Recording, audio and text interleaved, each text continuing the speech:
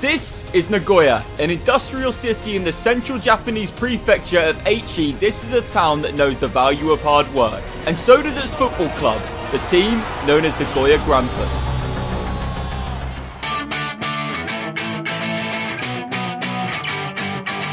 Taking their name from the whale symbolic of the city of Nagoya, Grampus made a splash in the early years of the J-League by signing the likes of Gary Lineker and Dragan Stojkovic, as well as being managed by the legendary Arsene Wenger. One of the J-League's original 10 clubs, Nagoya picked up their first silverware in 1995 when they won the Emperor's Cup with Wenger in the dugout, before adding another four years later. Things ground to something of a standstill after that though, despite making it to the semi-finals of the League Cup five times in the next nine years with the likes of Keisuke Honda in the team, Nagoya were unable to add any further silverware to their trophy cabinet.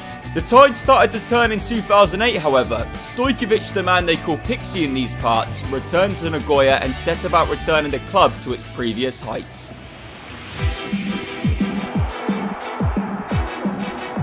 His first season in charge ended with Grampus third in the league, while in 2009 the Serbians steered them to a runners-up finish in the Emperor's Cup and into the semi-finals of the AFC Champions League. Their crowning glory came with Stojkovic's manager in 2010 when the tenacious defence led by Marcus Tulio Tanaka and 17 goals from Aussie striker Joshua Kennedy fired Grampus all the way to a historic J1 title.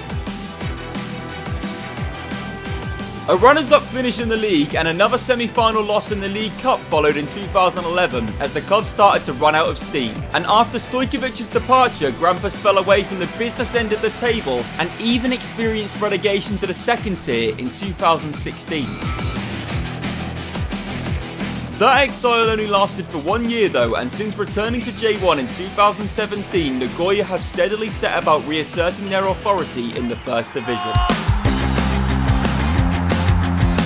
They've been aided in that quest by a wealth of talent from overseas, including Australia goalkeeper Mitch Langerak and Brazilian forward Mateus, as well as some of the best local talent in Japan in Yutaka Yoshida, Sho Inagaki, and Yoichiro Kakitani. Grampus challenged at the summit of the table again to finish third in 2020 and recently managed to end their long silverware drought with a win last season in the 2021 J-League YBC Levain Cup final. That victory completed Nagoya's domestic trophy haul as they finally lifted the J-League Cup for the first time and the club finished a respectable fifth in the league. There are changes on the horizon this season, including a new manager in the dugout in Kenta Hasegawa, but Grampus are very much a club riding the crest of a wave at the moment.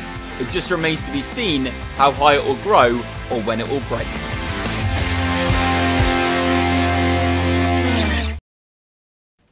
ฝากติดตามกด subscribe ช่อง YouTube j l e a g International ด้วยนะครับ Like, subscribe, get push notifications. Like, subscribe, push notification